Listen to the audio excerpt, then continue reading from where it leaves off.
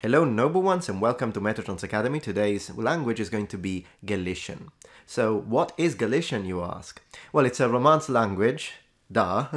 That's great information you give on this channel, mate. Fantastic. It's a Romance language, just we've been eh, tackling on this series, but it's spoken in Spain.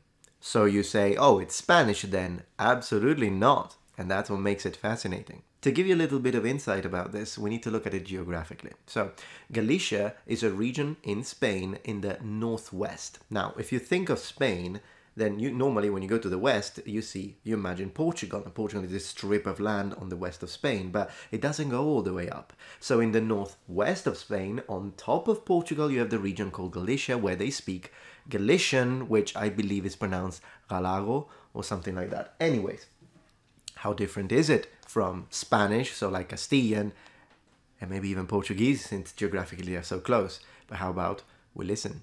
The Galician language. Galego. Normagal. Numbers.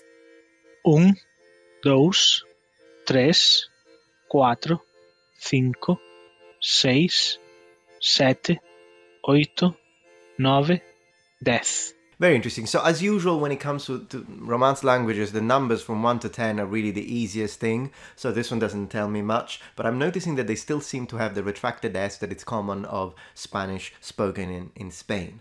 Let's see the good morning, good afternoon, hello, and all of that. Greetings and phrases. Hola, bom dia, boa tarde, boa noite. ¿Cómo te chamas? Wow.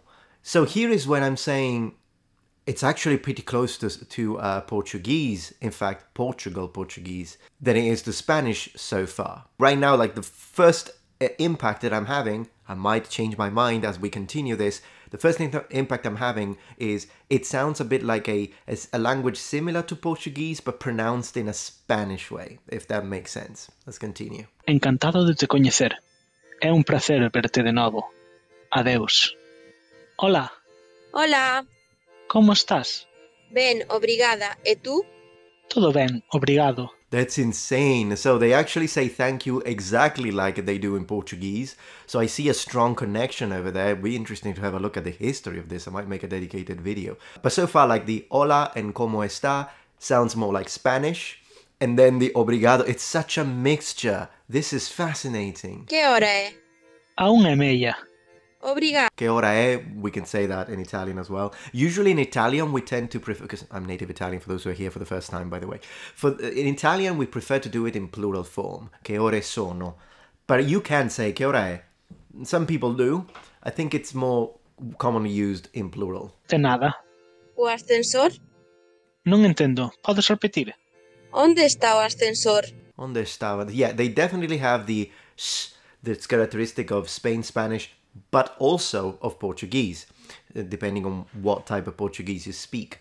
So uh, this is this is really really interesting. I'm going to go and look for a video now where we have an actual person who speaks rather than than like single little words, and let's see so that we can judge the intonation, overall pronunciation. Let's go. Boa noite, son Luis Gallego, nací en Galicia, eh, na zona interior de la provincia de Lugo. The first thing I'm noticing here that I hadn't noticed in the previous recording is the fact that he has the interdental fricative th. So this makes it a lot closer to Spanish when it comes to the pronunciation. And when I say Spanish, I mean, of course, Castilian, Spain, Castilian, Spanish. Uh, the uh, th usually is changed into a regular S in all of Latin American Spanish varieties. But he did say Galicia rather than Galicia. So uh, let's see how it continues. But then the beginning, it's interesting because he said something, I forgot this, the, the word, but he said something that sounded like good night. Uh, and it was his way to say good evening. In Italian, it would have just meant good night, like when you go to bed. But I would, I still understand that that, by, from the context, that he must be meaning good evening. Eh, tenho 24 anos. I have 24.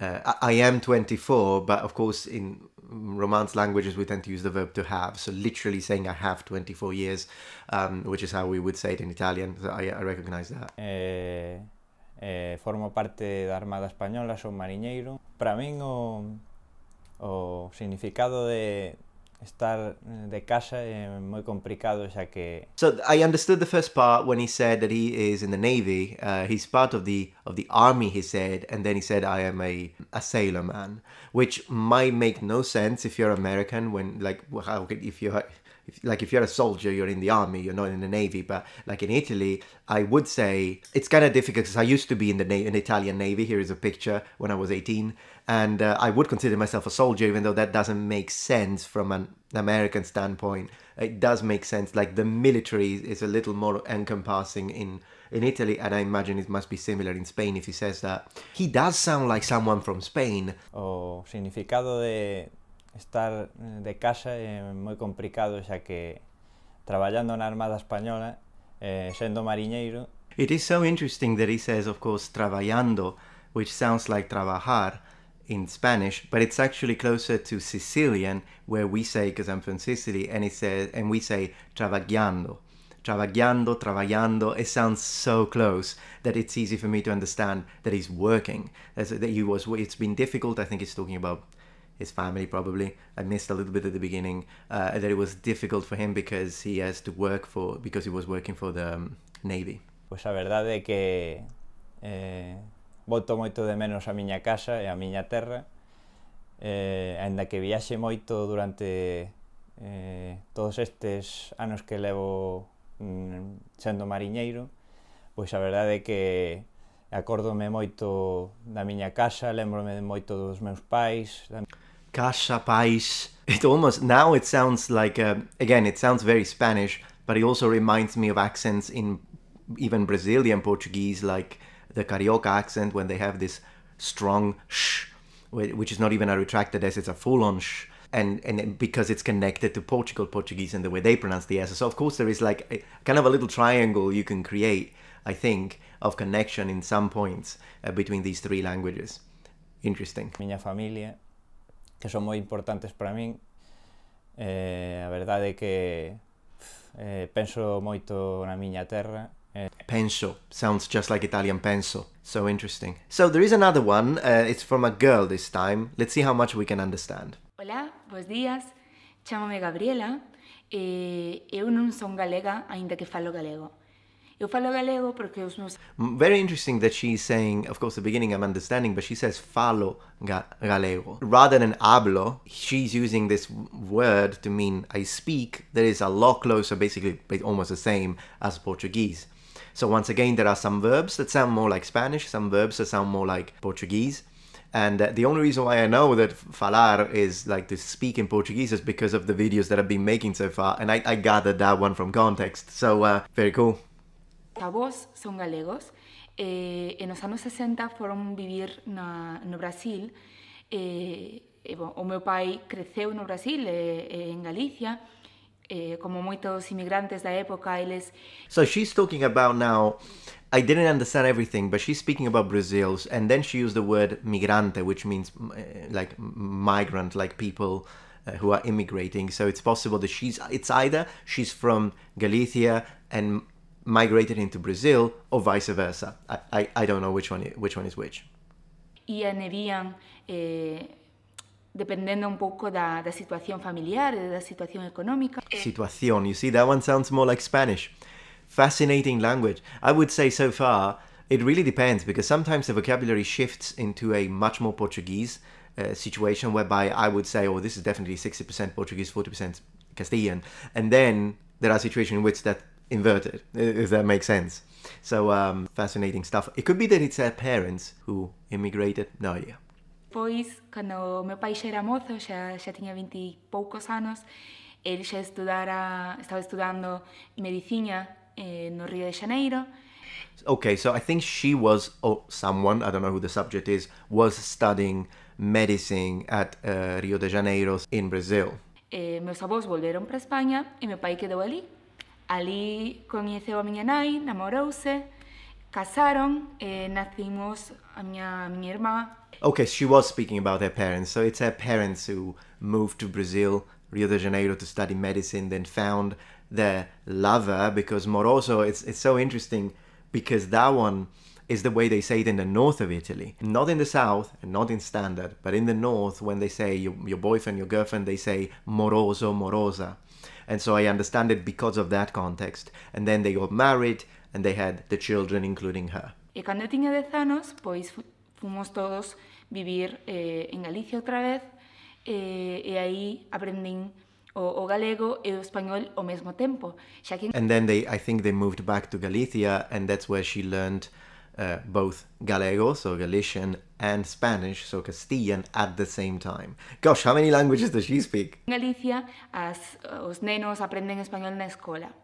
E, e hoxe eu falo catro idiomas, eu falo o portugués, que é a miña lingua nai, o, o español, o galego e falo inglés tamén.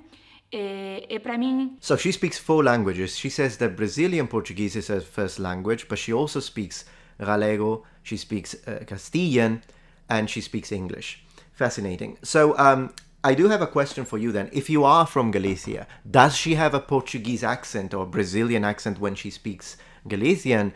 Or does she sound just like Galician and therefore she's basically bilingual? I would be, I, I have no idea because I have no training and this is the very first time in my life that I hear the language, but I, I think she she doesn't have an, a foreign accent when she speaks it.